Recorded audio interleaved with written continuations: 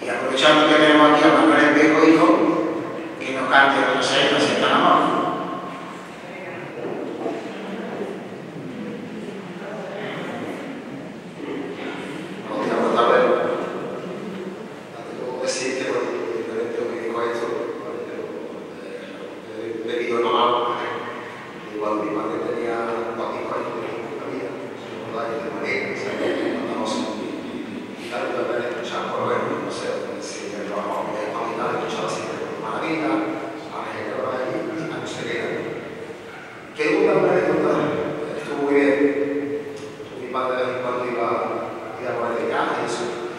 que de eh, un concierto creo que se